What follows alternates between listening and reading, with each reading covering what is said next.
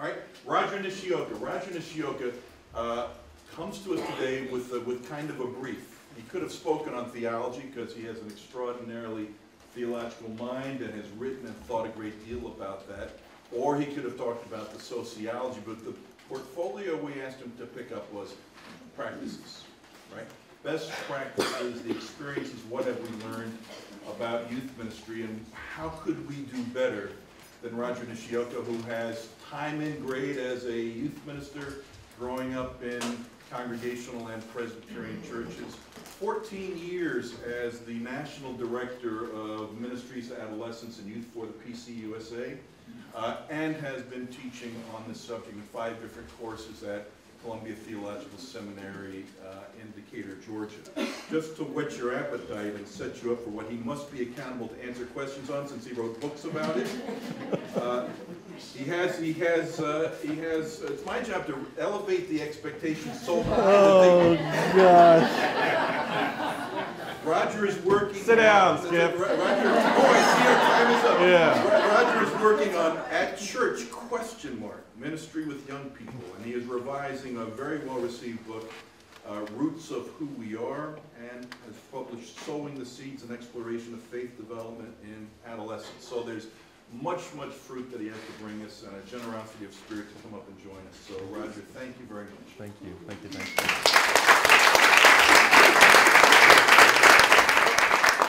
I didn't, I didn't have Joe's back. These are party favors from Rodger. I'm going to pass this bowl around. If you did not get your party favor, would you take it as we pass it around? There we go. Thank you, sir. Hey, friends, Lord be with you. Okay, so I know, yeah, human flourishing. Thank you, um, Dr. Wolf. Um, so I know that um, um, I'm going to use the screen, and uh, I was reminded by Greta and know there are some sightline issues, and if you can't hear me at a certain point, uh, then you need to signal to me as well. But um, I'm going to use the screen at least to an extent for our conversation.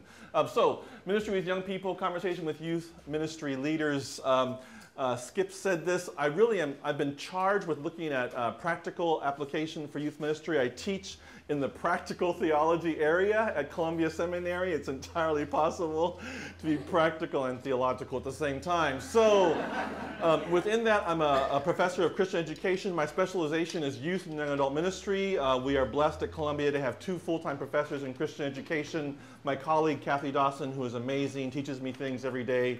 Um, her specialization is early childhood and children. I pick up youth and young adults, and then together we cover the adult spectrum in Christian education.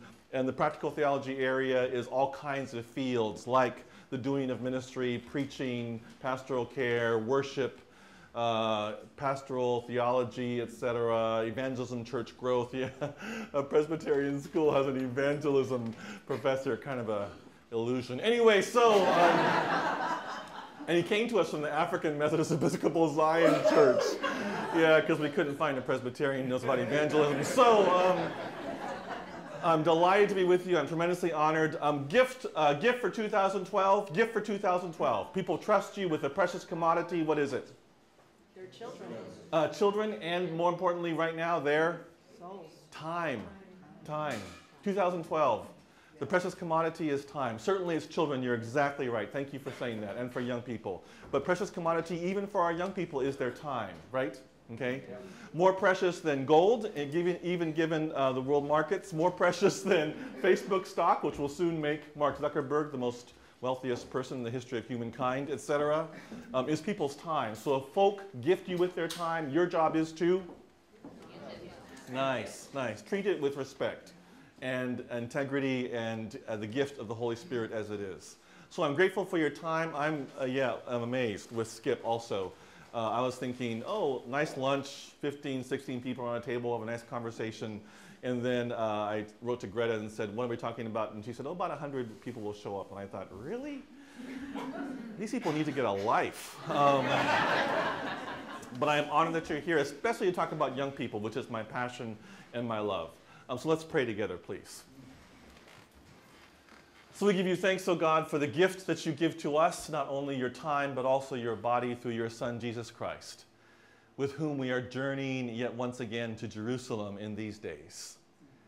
We give you thanks, O God, for your gift of your Holy Spirit who sustains us even in the moments when we do not know or acknowledge or recognize that your Spirit is moving for us and through us, sometimes perhaps in spite of us, yet your Spirit moves and she blows through our lives and sustains us all, indeed, your whole creation. And we thank you for you, O God, Mother and Father of us all, who made us in your own image, even the image of an early adolescent middle schooler, even the image of a junior in high school, even the image of a young adult, even the image of an old one and a newborn. So we give you thanks, O God, for the ways you image around us your being, indeed your whole creation. Help us to be so attentive to you that we see you in every place in which we are venturing in these days. And God's people say, Amen. Amen. So, uh, my conversation is, it really is a conversation with uh, youth ministry leaders. You're doing this beautifully already. Uh, my own tradition, you can tell, uh, perhaps you can't, but you can, uh, I'll tell you right now, is an Asian American tradition. I come from a Japanese American tradition, uh, born and raised in Honolulu. And like the president, I have a birth certificate and it's real. Anyway, um, I live in the state of Georgia, so that's an issue. So, um, uh, um, in my own tradition, I realize that um, I am a permission seeking person. It's what I've been raised with as an Asian American. Those of you who are Asian Americans in this room, you are in that same stream, you know this, that you don't participate until you've been invited into the conversation. So I'm inviting you into the conversation, okay? Um, uh, I grew up in Honolulu and then uh, was called to Seattle. Uh, where I was uh, living for a while with my folks, went to undergraduate, high school, etc went to seminary in Chicago, uh, uh, graduate school, PhD work there as well, and then now I'm teaching in a place called Decatur, Georgia, Atlanta, which is a great place to be um, at Columbia Seminary. Uh, what I've discovered is not all cultures are permission seeking cultures, but I'm trying to issue permission at this point for the conversation. Um, I'm uh, preaching in uh, one of our African American, historic African American congregations outside of Atlanta discovered that uh, uh, by and large the African American culture in worship doesn't expect permission. Uh, it's granted already. So when I was at McCormick Seminary, I was uh, taking preaching class, and uh, one of my professors talked about how a great tool in preaching is the rhetorical question. What's a rhetorical question? Ah, nicely done. Dr. Richards says, a question that you ask expecting no answer. And this uh, comes from an Anglo, older white Presbyterian professor. He says these are effective tools in preaching these days. I was in a historic African American congregation outside of Atlanta. I had a great rhetorical question. So, what is the word of God for us today? Thinking, dang, that is a great rhetorical question. I misread my context. I wasn't in a white church. I wasn't in an Asian American congregation. I was in a historic black church. Woman in the back, lovely hat. Blurted out, Well, honey, if you don't know, then why are you up there?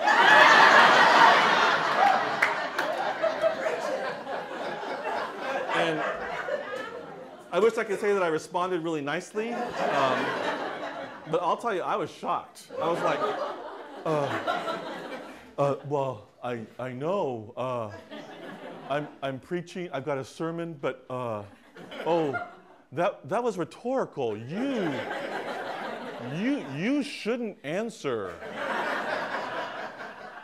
And she said, Well, baby, in this church, if you don't want no answers, don't ask no questions. And I said, Oh, yeah, no, no more questions. Bad asking questions. So I'm inviting a conversation this day, really, truly. Okay? So a conversation is being invited, permission is being given for those of you who need that uh, from your particular context, your particular culture. Those of you who do not, thanks be to God for you. Okay? So I hope to have a conversation about you, about just the nature of ministry, um, line out some things with you, um, and then we'll see where we go. So you have one of these, right? Okay, practice of youth ministry. Okay. If you would, please take it out. Um, because of the space, I realize that this is difficult for us. Um, but if you wouldn't mind, uh, stand up, please, if you would. Um, you, you, probably can't move very well, but your goal is to find somebody around you. Uh, choose, you agree on a number. Numbers 1 through, uh, on the very back, is 20. Thank you. Well done, Bruce. Numbers 1 through 20, you agree on a number and you answer it together. Please go to that number, whatever it is, just choose one, and then do that with a couple other people around you as much as you possibly can. Ready? Go.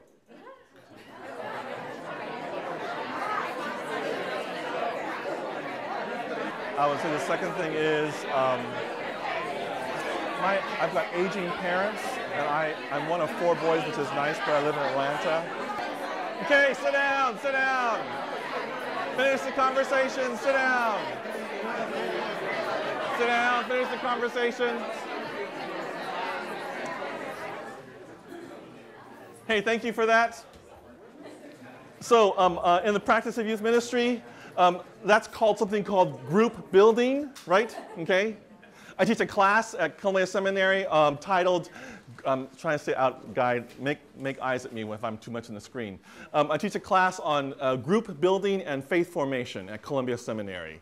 Um, everybody's picking up on this. Corporations are picking up on this, that the whole idea of groupness and group building is essential. Even corporations are realizing for workers to get together and function in the same way. Okay? The Church of Jesus Christ is no different. Amen? Amen. And young people are no different, especially. I want to argue that young people are especially in need in these days of group building as well. So um, there is bad group building. There are bad resources out there that are stupid, okay? and some of you are buying them, so stop it, okay? Um, but I want to talk about what good group building then is. In good group building, I think every person's included. All right? So in this activity, who is included? Everyone. Everyone. Um, even you who are introverts, whom the Lord made also. You were included. Okay? Um, extroverts, you get your energy from? Other people. Introverts, you get your energy from? From within yourselves. That's not a bad thing. What?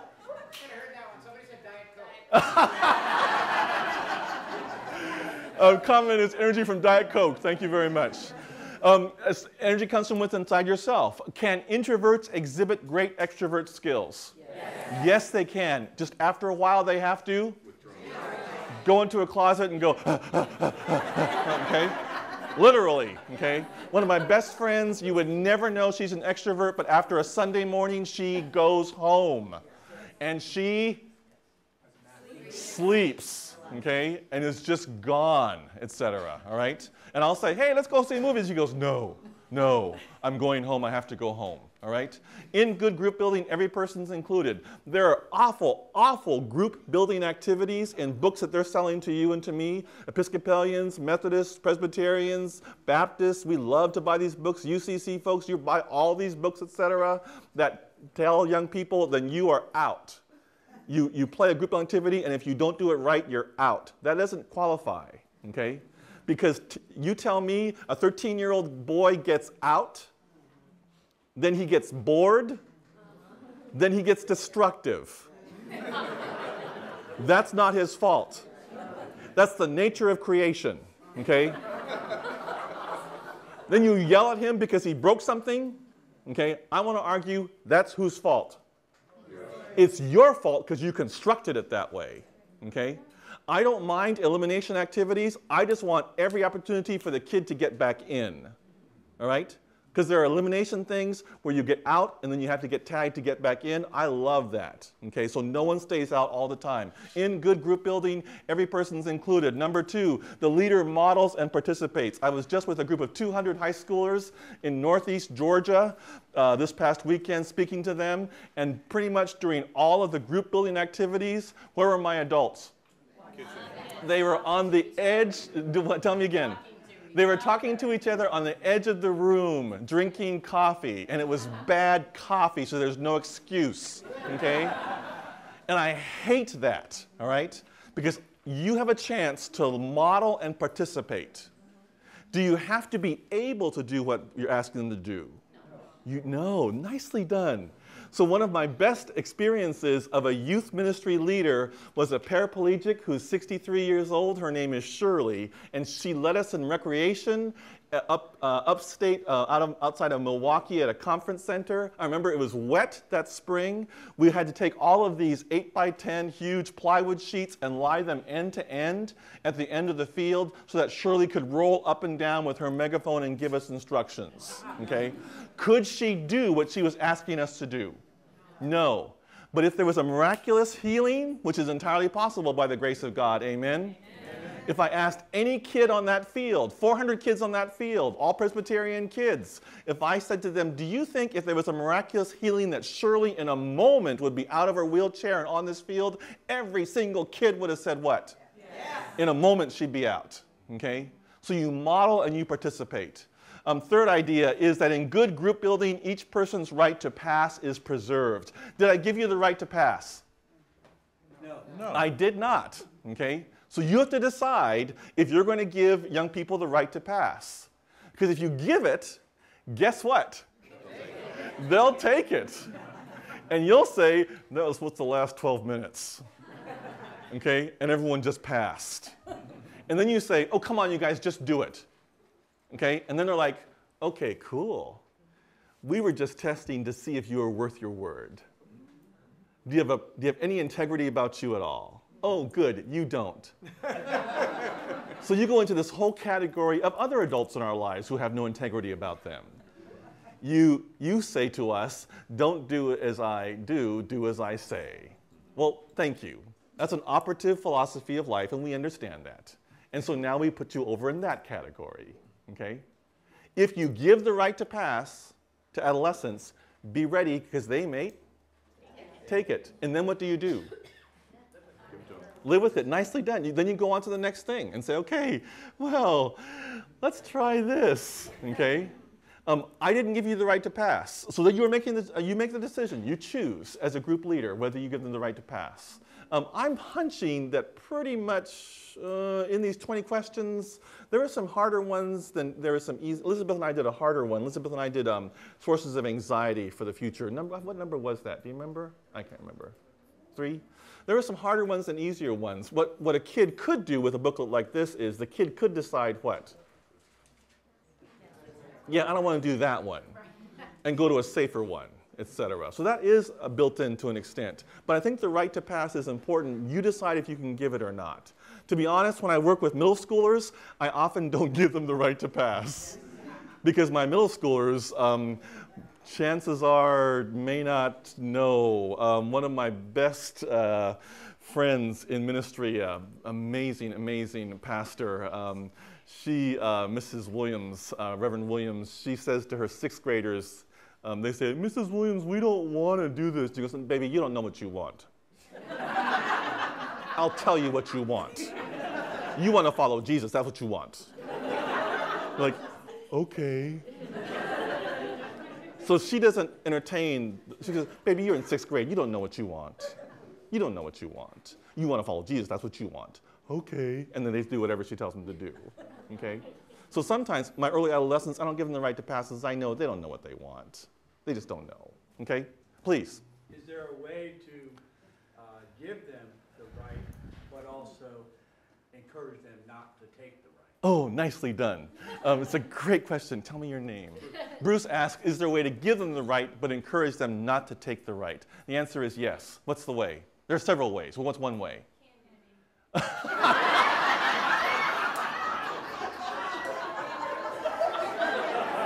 okay, we're still we're still sort of in the Diet Coke trajectory there, yeah. Um, the answer was candy, yes. You can bribe them, that's true. I want to argue when leaders model and participate, they, want to, then they, want, they, they don't want to pass. Because part of it is they want to see what you do, okay? If leaders truly model and participate and they realize, oh, I'll be darned, so you're going to actually be doing this with us, then often, because you've modeled it, they won't pass because they'll say, this could be fun. And besides, we get to watch Bruce do it, okay, and be entertained. And it'll be up on Facebook in a few moments. okay? So uh, it's a great question, yes.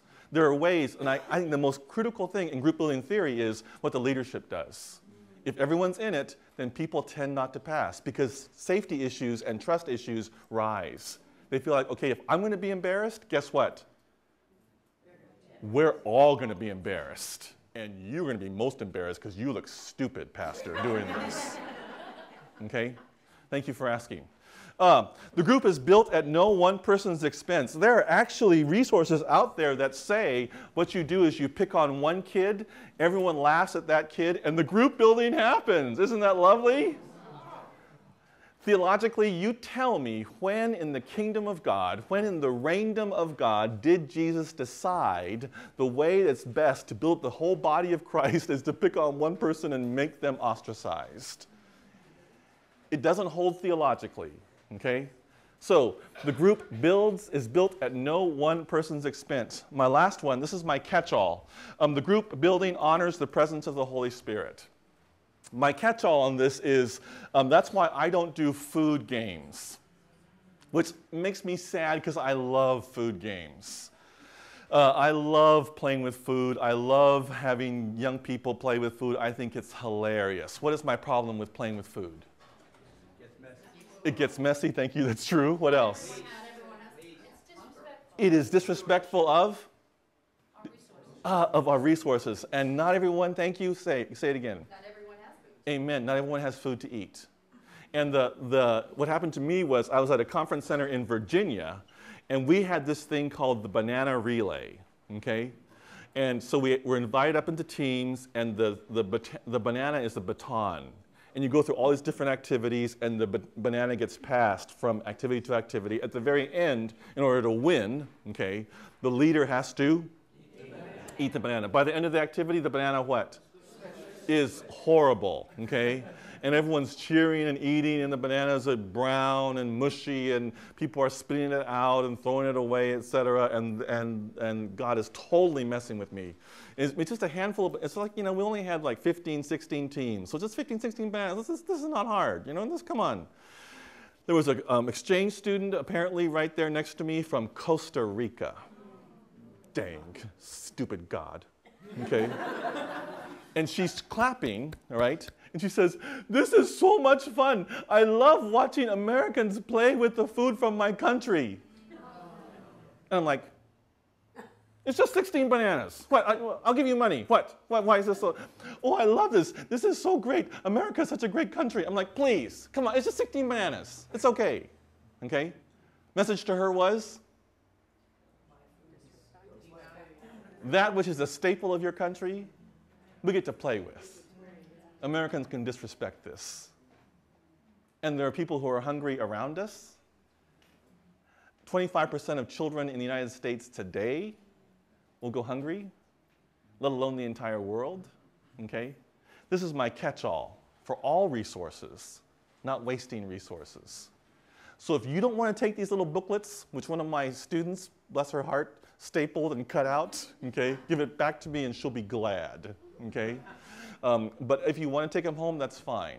But all have resources, okay? In um, group building theory, here's the idea. Um, in group building theory, groupness is achieved through a minimum of 17 contact hours. They've quantified it. They say it takes 17 hours minimally for a group to be a group. Your job is to build groupness among the adolescents, the young people in your congregation, in your parish. That's your job, okay? Group building theory says you don't get groupness until you've had 17 hours, 17 contact hours, all right? Here's the theory. The 17 contact hours, they don't have to be contiguous, but they do have to be continuous, okay? So it isn't 17 hours all attached. It could be, but it doesn't have to be. But it does have to be 17 continuous hours which means that every time the group meets, five of you, or 15 of you, or whatever it is, whenever the group meets, the same people have to be there. Otherwise, you go back to hour number one, okay?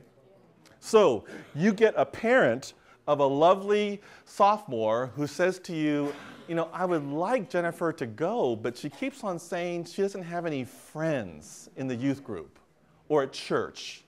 And you're like, well, that's odd because Jennifer knows all these other young people, and she does. What Jennifer is saying to her mom and to you vicariously is, I don't have groupness. I don't have groupness. Okay? This is the shift, and this is God's intention. This is how you know God has a great sense of humor. At about uh, 11, 12 years old, um, God says to young people, begin to shift your primary allegiance from whom? Parents, Parents to whom? To peers. At the same time, this is how you know God has a great sense of humor. God says to parents, This is a really scary time, hold on. Okay? so you have adolescents saying, Get away, get away, and parents are like, Come back, come back, and God's going, This is so cool. okay? So when you go to heaven, you can say, What was up with that, Lord? But for the time being, that's the intention. The reason why it's the intention is because when they're 33, they ought not to be having their primary relationship with you. Some of us know 33 year olds who are still attached to their mothers and fathers, and it's not attractive. Okay? it doesn't happen very well on eharmony.com. It's not a good thing. Okay? Who are your best friends? My mom and my dad, best friends in my life, etc. Okay? So there's a whole shift going on. They're supposed to be more aligned to their peers than they are to their parents at this point. That's God's intention. So you're trying to build 17 contact hours for groupness. Groupness is defined as three ways. Groupness means persons claim common rituals and norms, that there is a way of doing, a way of being that is common. I can ask anybody in the group, what are some rituals, what are some norms, ways of behaving, ways of living together, and every person says the same kinds of things, not in the same language, but they get ideas of rituals and norms. A ritual, keep in mind, is any activity that opens us to deeper meaning. A ritual is any activity that opens us to deeper meaning. Not all activities are rituals or ritualistic, all right? So, rituals and norms. Um, second major qualification for groupness persons share a common story and purpose. I can ask anybody in the group, um, what's the reason for your existence? And there'll be similar language, not identical, but similar language. People will say, this is why we're doing this, this is what we're about, etc.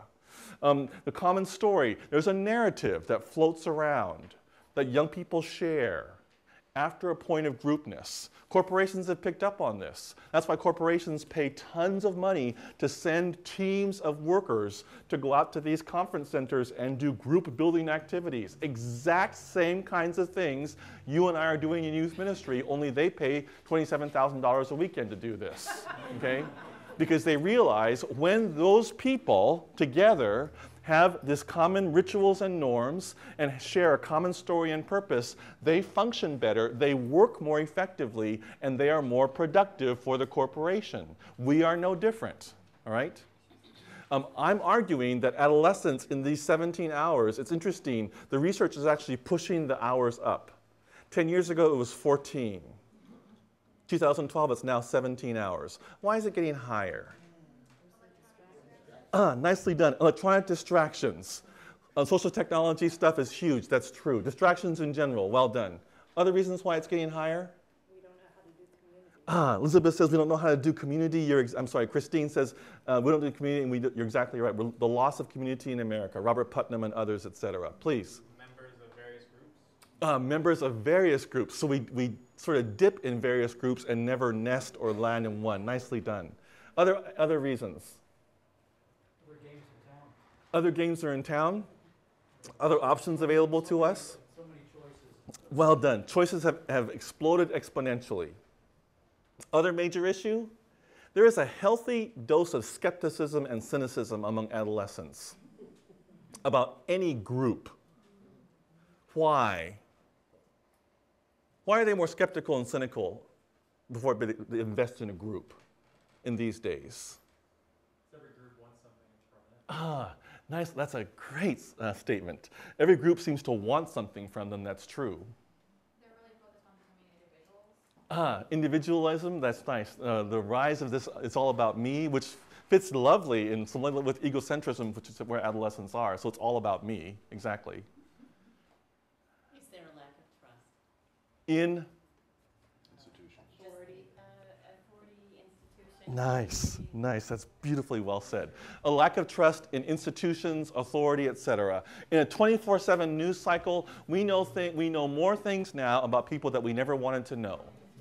Okay, and so they're saying um, that they don't trust necessarily any group because they've watched people betray trust over and over and over again. Whether it's a priest, whether it's a athlete or a politician or a school teacher or whomever. We've watched people betray trust over and over again. This skepticism, this mistrust, this cynicism is throughout the entire culture, the uh, entire society. So it's taking longer to get to groupness.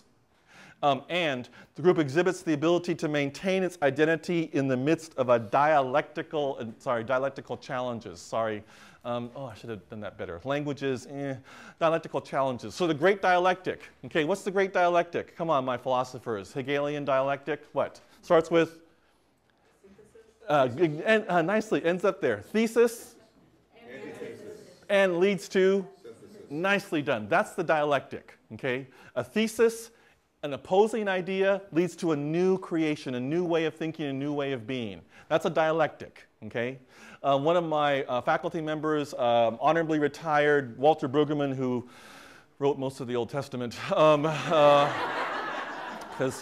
he, he was around then. Anyway, um, uh, Walter says the great dialectic he pulls from a philosopher named Paul Ricoeur. He says the great dialectic throughout all of Scripture, Old Testament, and he argues New Testament, um, is a new te- um, uh, orientation, God's people, and orientation next to, well, yeah, thank you, Professor, disorientation leading to reorientation.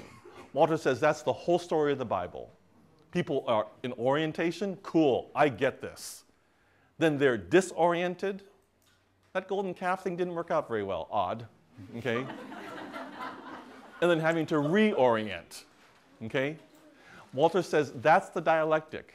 Here's the challenge. In this 21st century, when you get to that antithesis, that disorientation, most people will what? Leave. Exactly. They will opt out because this isn't fun anymore. And this isn't meeting my needs. And it's all about me. Okay? Um, I was talking about this with one of my pastoral care uh, theology professor colleagues, Dr. Pamela Cooper White, who is a great Episcopalian. Okay, fine, you people. Great Episcopalian priest. Anyway, Cooper White was talking to me and she was saying, You know, Rodger, what's amazing thing about uh, marriage and family therapy? When you have a couple or a family that's in major disorientation, if you can get them to reorientation, that family, that marriage on the other side of it is is stronger. It is more resilient. Is the pain there? Heck yeah. Is the memory there? Oh yeah. They're like, man, you were stupid. Yeah, I was stupid. Okay. But she said, on the other side of it, when you get that family or that couple to the other side of disorientation to reorientation, they are like, I'll be darned. We are stronger than I ever imagined. That was bad. But look how we survived that. That's the essence of resilience. There's a ton of money right now being thrown in uh, studies about young people and resilience factor. It's called the resilience factor because they're trying to figure out what makes a kid be resilient. Can we quantify resilience in some way? And this ability to stand through disorientation, antithesis to the other side, that's an amazing, amazing place to be. Okay? I would add, as theologians, you and I, by the grace of God, we end up on the other side of disorientation to reorientation, in our relationship with each other, with God, even possibly with the Church of Jesus Christ, is stronger. Pain is still there, memory is still there, but this ability to survive a dialectical challenge is quite remarkable. So, 17 hours, um, not necessarily contiguous, but continuous. So, I've got a youth group, and we're gathering for an hour and a half once a week. We start in mid August. When is it possible for me to get to 17 hours? if everyone shows up every single time, earliest possible? November. The problem is, you already see it coming. What happens? People show up, not show up. Some of our adult leaders rotate and change. Okay? I totally get this. I totally get that you're trying to recruit leaders and you're like, you don't have to come every time. I know you're busy. You're traveling. So just come when you can. Okay? The problem is, every single time that group meets, they're on hour number one. Okay? In group building theory, hour one, one, one, one, that gets really, really old fast. People get weary of hour one. There is no ritual and norm. There's no shared history or purpose. There's no sense of being able to survive in the midst of a dialectical challenge. Why should I invest in this group? Why should I be a part of this? This applies, I'm convinced, to church boards and sessions and consistories and committees. I'm convinced that this is lived out in every single time we try to be a group, okay? So tell me how you get in youth ministry to 17 hours as fast as possible. Ah, nice. A lock in, literally, a lock in, okay? But you're doing a lock in, and uh, this lovely parent comes to you and says, Oh, um, I know this is really important, but hey, Sean has a soccer game tomorrow morning. I can, I can pick him up at 6.30, drop him off later at 1 o'clock after he plays a soccer game and cleans up. That'll be okay, right? And you say to her, to the well meaning mom, it's not going to be okay. Please. With my group, when we do the thirty-hour famine, when a parent tells me that, I tell them that their tribe will mourn their loss. Oh, And ooh. they will celebrate their return and, and just enjoy them, but they will be mindful of their absence throughout their absence. Oh, wow, lovely language. Ooh, golly. Also guilt ridden, which as an Asian American, I love that stuff. Ooh, yeah. Often the say- What? What? Often the parent will say, well, you know what, I'll find another way. Yeah, nicely done. I totally get that. If they're former Roman Catholics, even better. That's great stuff. Exactly. Um, my parents growing up knew that they could, they, could, they could hit us, but they wouldn't because they're bad parents.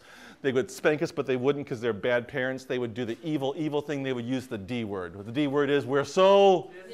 Oh, I hated that. I was like, please, just beat me, okay? They're like, no, Rodger, that's okay. We're just disappointed in you. I'm like, okay, can I just die right now, please? Etc. No, I think you're exactly right. Please.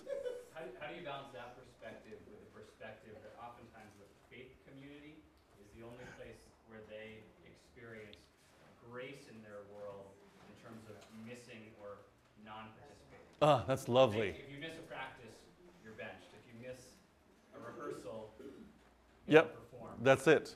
Tell me your name. Peter. Asked a did you hear the question? Peter asked, how do you balance this requirement, if you will, with, a, with being a community full of grace? Whereas in the other parts of their lives, if they miss a practice, if they miss a rehearsal, they can't perform, they can't do the recital, they can't play, etc. But how about we be, we be a grace-filled community? I, Peter, thank you. I completely support that and agree with you. I want to be a grace-filled community. What I do say to my parents is, on this weekend, we're trying, I tell them this theory. This is not secret, okay? I tell my youth group this theory at Central Presbyterian Church Atlanta, okay? Um, we're trying for 17 contact hours. So I really appreciate, and everything else that we do, show up or don't show up. But for this fall retreat, we're trying to build groupness. I need 17 hours, okay? And when I tell the parent that, step parent that, then she realizes I don't hate her. I don't hate her kid. I've got actually a theological and pedago- pedagogical framework for this. Okay, we're trying to get 17 hours. It's gotten to the point a little bit spooky where I've got my kids coming to me and saying, "Hey, what hour are we on?" and I'll say, "I think we're on hour 11," and they're like, "It feels like hour 11." because we're still in our little individual groups. Okay, because I've got 22 young people on a good night, really truly, and I've got 17 high schools in that 22 young people, et cetera. And so they feel like, yeah, we're, it feels like an hour 11 because we're still not doing this groupness stuff you talked about. I mean, my young people know this and they articulate it. I've had young people say to their parents, I've got to miss practice because we're trying for 17 hours this weekend. Okay? For the other weekends that we do, what? They can come and go. It's okay. But the cool thing is, once I get groupness, ah, there it is. They want to be there because their friends are there. Because they've experienced something that is remarkable in their lives, and they're like, no, I, I want to I wanna be a part of this. this remarkable thing because they're yearning for it. Why do you think that vapid, ridiculous sitcom Friends was the number one sitcom among 15 year olds every year that it ran? And now in syndication, it's still popular. It's not just because a bunch of young adults get to sleep around and live in two amazing places in Manhattan with no jobs. okay? It's because young people are looking at these friends and they're like, oh, they have groupness. I want that. I yearn for that in my life. I don't have that. I yearn for it. It is so attractive. It is so compelling. I think the Lord made us this way. I really truly do. So, if I could frame it theologically, theological answer why groupness? It is essential to faith formation. It is the very nature of God, and we are the imago Dei, Latin for. God is relationship through the Trinity, so we are created for a relationship. If we believe that we are created in God's own image, okay, and God's image, God's very self, is relationship to God's own three in one, okay, then being created in God's image means we are created for relationship. We have to be that. We yearn for it. We are desperate for it because we are created in God's own image, and God, God's self, has groupness in God, who is the mother and father of us all, God, who is the Son, Jesus Christ, and God, who is the Holy Spirit. It's a theological answer. It isn't just a cool thing to do. It isn't just fun. It doesn't just get allegiance or power. Andy Root, you had earlier talking to you about a new way of thinking about relating, etc. Okay? I'm arguing that the whole idea of this groupness is deeply theological because it is the nature of God, and we are created in God's image. Now, what I'm worried about is, to be honest with you, I think the 17 hours is going to go higher in the years to come. I really do. There's indication of that already among this generation. Please. I'm realizing now, thinking about my own history a million years ago being youth group. Yes. And in the century in which that was. Um, there were fewer things to do. And so we achieved groupness early on. And Precisely. I realized that Precisely. we so much in the church through choir and through this that we were a group quickly. You were. And so it wasn't this like, who are these people in? Exactly. I'm just realizing now how the, the distractions Yep. today and the other options Yep. and the, you get a choice whether you go to church or not. Oh. I didn't have a choice. Thank you. So it You, helps a lot. you named it. You named it beautifully. You're exactly right. Please, I was Emily. just gonna piggyback off that is my most challenging moment is when parents either call me right Yep. before youth group, Yep. well, who's there? Yep.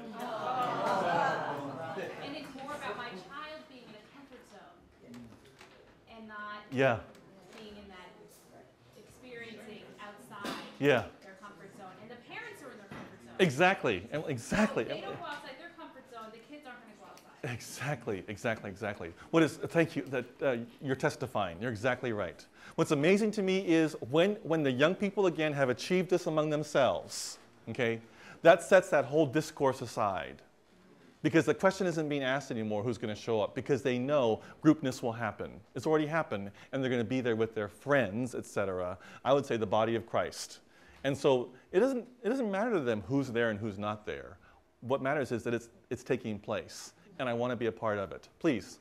Sometimes I feel that, that it's the parents that we have to appeal to because the parents, the parents nowadays think that these other things are important. Yes. You know, like we need the scholarship money, so you have to play soccer on the Yes, weekends yes. instead of going to youth group events.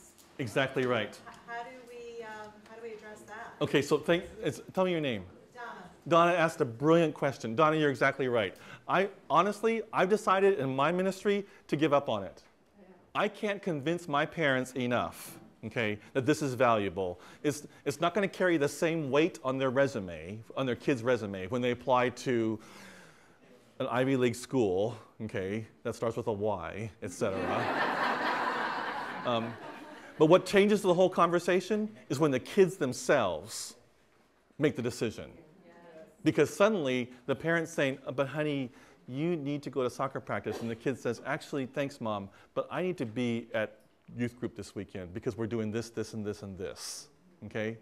I've discovered, and Donna, you're on it, thank you for asking. When I tried to do the opposite way and get parents convinced first to make their kids come, okay, then, then I was lost.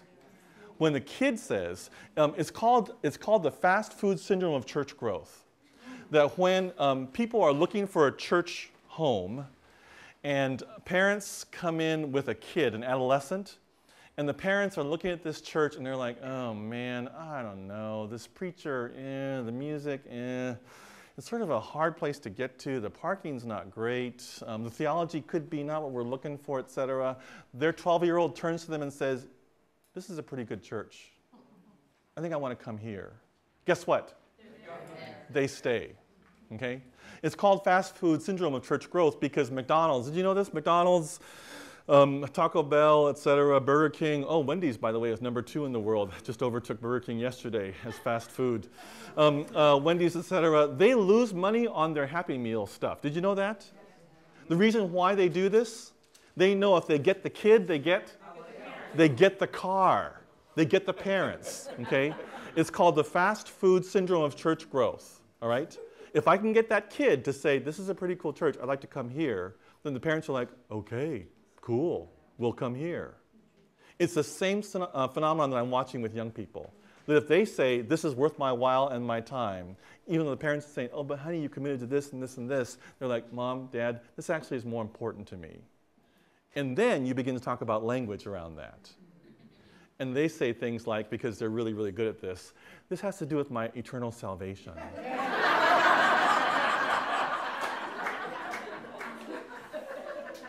no manipulation whatsoever. I know, I know. But no, thank you. Um, seriously, thank you. It's a great question.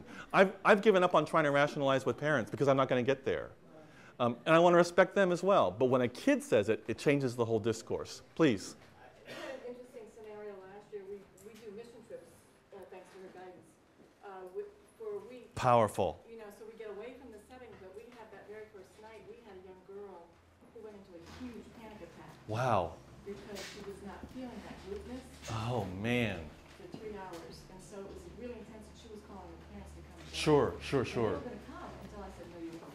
Oh, golly. You know, because she needs to, no, it wasn't that she needs to suffer as much as you, that transfer Yeah, of yeah, identity yeah. piece. And once she went through it, she, she settled in, but it, it, she wanted to just text, and I Yep. mean, that- the, the technology piece is isolating kids so much. It totally is. But, but where they don't, we gotta be mindful of what we are asking them to do in ways that we can't facilitate. I mean, I wish I'd known. Yes. It was really, really intense. Oh, right? I'm sure. Um, but I, I think we've gotta be mindful of this generation. It's, it, there's a big piece here, It- there is. Thank you for saying that. You're exactly right. Tell me your name. Lee. Lee says, um, and did you get this? Lee talks about, thank you. Lee talks about um, at a, a mission trip, the first night, it was the first night, right? Um, a young woman went through almost a three hour period of like a panic attack, really. Um, and she was texting home and calling home and saying, please come get me, please come, I can't stay, please come get me. And you said to the parents, no, just wait. They were gonna come. I know they were. And because in the day and age, okay, that's called what? Helicopter parents because they hover. So they, they think, she needs me again, so I'm going to rescue, okay, etc. What I need is, parent, is, is for you to say to the parents, her health is not in danger. Okay, we're right here. I've got 911 on speed dial. She'll be okay. What I need you to do is just give me some time. Just wait, okay? Because what the kid is experiencing is disorientation. On the other side of it, she gets to, and she realizes that she herself is stronger, resilient. Because at some point, she's going to go off to school or get married or end up on her own living somewhere. And she, if she tries to call then, and parents come and rescue, then the pattern's already been set and it's dangerous. But as long as she's in a safe place and you can assure the parents she's okay, then I think you're exactly right. Okay? I need to move on because I'm watching time. I'm sorry. Um, I want to finish up with this. Um, if I look at the 21st century youth ministry, okay, this is required reading for all of our first year students at Columbia Seminary, Postmodern Pilgrims. Len Sweet teaches at Drew Divinity School, really, really good guy. Lives in the San Juan Islands in Seattle. I don't get the commute thing, but anyway. Um, he written a, he's written a book called Postmodern Pilgrims, and I'm pulling a chapter from him. Sweet says um, the 21st century church must be four things And as a Presbyterian, I love this because it's an acronym. Um, experiential, participatory, imagistic, that's actually my language, not his, um, and communal. As a scholar, you get to adapt people's ideas and then sort of think it's your own as an illusion. Um, experiential, participatory, imagistic, communal. If I could line this out, what I want you to do is I want you to think about your youth ministry program, your ministry with young people, whatever it is, as experiential, as participatory, as imagistic, and communal. Okay? I think Sweet's onto it. I think he gets it. I think the nature of the church in the 21st century has to be thinking about these four things. So, um, if you've been to, uh, it's going to come. If you've been to um, Disneyland or Disney World, um, you've seen this, hopefully. It's called, it's a signature ride in California Adventure. It's called um, Soaring Over California.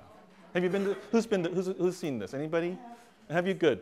Okay, this, um, Sweet says this, um, well, this is my interpretation. He doesn't say this. I think this is the essence of experience. Okay? So, what, what Disney does is they put you in these, these things, they lift you up off the floor, and it's like you're hang gliding over California. Okay? And so you see all these images of California. Right? So, there's wonderful music. Audition, I'll play it for you so you can hear it. Um, so you're going over, you know, Northern California, the rivers, etc. You end up moving from there. You go into um, these beautiful, beautiful parts of North Carolina with hot air balloons. You're soaring, etc. As you, as you, as the vehicle tips you down, the wind speed in the theater increases. So it blows your hair, okay, and you move this way and that way, etc. When you go over Big Sur, what happens in the theater? They squirt water in. So, that, so, you, so you feel water, okay? And you smell, they, they insert the smell of salt into the theater, okay? Then you go over the Sierra Nevadas and you're skiing, the temperature in the theater drops, okay? And you go over this, I mean, this is all experiential. Um, in a moment, you'll go over orange groves in the Imperial Valley of California. When you go over the orange groves, what? They insert the smell of oranges in the theater. Okay? So, um, I've quantified, I've pushed, and Lynn and I have talked about this. I think experiential um, means you engage more than one sense at a time. I think that's the essence of experience. I think our young people are, are yearning for an experience of Jesus. And the way you get that is by engaging more than one sense at a time. What's the problem with most of our worship? Okay, it's boring. it is boring because we only engage typically what sense? Hearing, okay?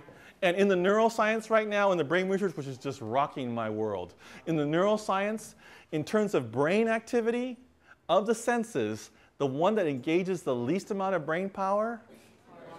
Hearing, audition. The one that engages the most brain power, this is in functional magnetic resonance imaging that we can do for the first time only seven years ago. No. Visual. It's seeing. Smell, thank you. Olfactory is the strongest remembering sense because it's the only one that doesn't have to go through the amygdala, which is the gatekeeper for memory. Okay? That's why smell is so important. But in terms of actual brain engagement, seeing is the most. All right? So, Think about ministry with young people as experiential, ways you engage more than one sense at a time, simultaneously. And young people seem to walk out saying, I get Jesus, because you've engaged more than one sense. So, one of my um, uh, students, and you know this is a call from the Holy Spirit because she used to be an Imagineer in Pasadena, uh, in Anaheim, and she left that to come to seminary. I'm like, you messed up in a big way. Um, you had the best job in the whole wide world and you come to seminary. Stupid girl. Anyway, um, um, she said, she actually worked, I talked about this in class, and she actually worked on soaring over California, development of it. And she, and she pulled me aside afterwards and said, Professor, you know, um, I worked on soaring. I said, Did you? And she goes, Yeah, it was great. And I said, well, I'm intrigued. Tell me about it. And she goes, well, we, you know, we got sound because you hear music, etc. We got touch because you feel the wind and you feel the spray. We got smell because the oranges and the salt, etc.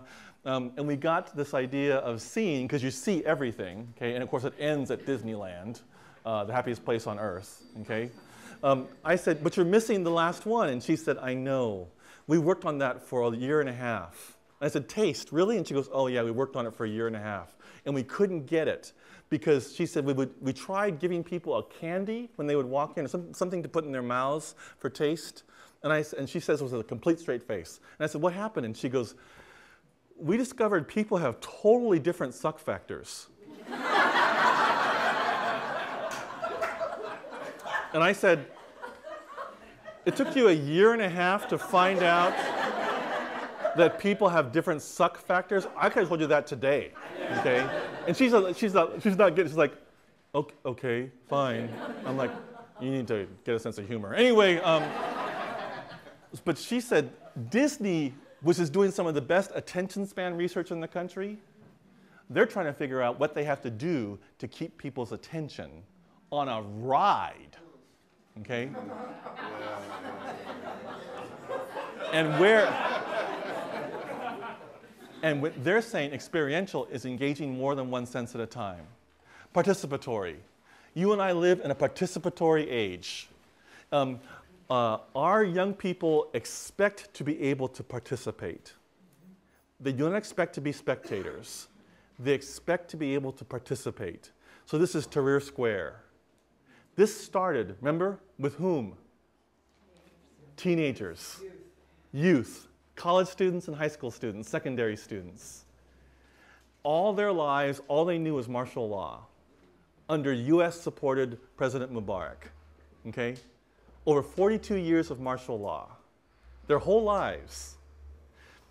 The first night, apparently, the word is about 63 high school, secondary students, and college students gathered in the Tahrir Square in the heart of Cairo, most populous Arab nation in the world. And to Mubarak's credit or disillusionment, they didn't push him out. They were there for four days. On the fifth day, there were over 700 of them there. Remember what happened on the sixth day, do you recall? Thugs came in that we found out later were hired by the government and dressed down, and they came in on camels and cars, and, they, and three people died that night. Okay? The next day, you know, remember what happened? Who came for the first time to the square? Grandparents, actually. It was older adults. And there was an interview that I have that I love of an older adult man speaking in Arabic, a grandparent, and they asked him, this, is, this was on Al Jazeera in English, they asked him, why did you come? And the translation says, he says, because they were beating my grandchildren. He said, at first I thought, oh, these are just kids. The government will soon dispense with them. But then I saw that they were beating my grandchildren. I'm an old man. They can kill me, but they cannot kill my grandchildren. The next day, then who came? Parents came. Grandparents, parents, children were in the square. 23 days, 23 days. The regime ended. 23 days. This is a participatory time. Social networking allows that to happen. This is a participatory time. Third issue, imagistic. The expectation is that there would be the opportunity to see things, engage as much of the part of the brain as possible. Sweet says, it's a marvelous quote. Sweet says, the shift is from a culture of the page to a culture of the screen. Sweet also says the problem is any institution that has achieved the highest expression of a given medium has the most difficult time changing when the next medium comes along. We are the church of Jesus Christ. We love the page. I teach at a graduate school in theology. I love the page. I got a PhD based upon the page. Okay? And now we're being told to shift to the screen. It's a huge, huge shift, and we are resistant. The Church of Jesus Christ, perhaps most of all, Gutenberg Bibles. I mean, come on, we are the people of the page. We get this. We are in an imagistic age. Last one. Um, we are in a communal age. Knowing is constructed. So um, I believe we are in a constructivist society now where, where knowing Jesus, knowing God, knowing the church, knowing the Holy Spirit, knowing God's activity in the world, it is not up to any one person. Knowing now is constructed. Um, Wikipedia, which, by the way, is not an adequate citation for a scholarly paper. My students are like, I got it from Wikipedia. I gave you a citation. Like, that is not a citation. Dean, is that correct? It's not a citation. Thank you very much. I'm going to tell them the Although I dean. use it all the time.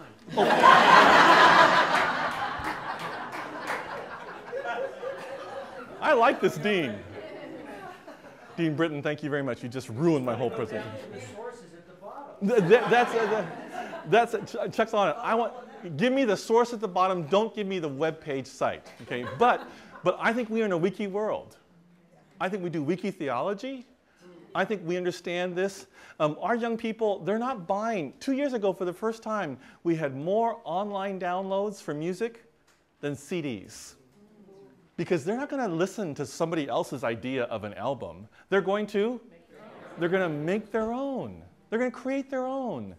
Knowledge is being constructed in this day and age. If you think there's resonance, I love this about the Lord. If you think there's resonance to the, to the church, Liberation Theology Church, remember in the base communities, when these Roman Catholic priests begin to think, golly, even these quote unquote uneducated peasants, these farmers, if I just read the scripture to them and turn to them and say, what do you think this means? And they begin to say in their own words, in their own context, I think this is what the Lord's saying to us through this text.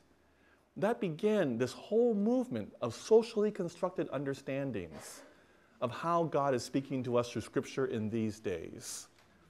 And initially, the Roman church was threatened by that, which is typical of any power structure. These people don't even have degrees. How can they speak with integrity about the Scriptures?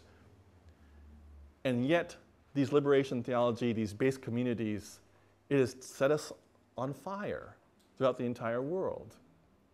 Young people are in the same mode. They know things that you and I do not know. They understand God in ways that I do not understand God. So, in all humility and with the grace of God and by the mercies of God, I depend upon them to help me know what it is God is calling me and us to do in these days. It's this posture that I think we're being called to. It's an epic posture experiential, participatory, imagistic, and communal. Okay? I've given you, I've thrown stuff at you, um, uh, and I'm mindful that this isn't as imagistic as I would like it to be, nor is it as communal or as participatory as I'd like it to be, um, but I'm grateful to you for the precious gift of your time. Yeah. So ten minutes, we've been. Thank you all.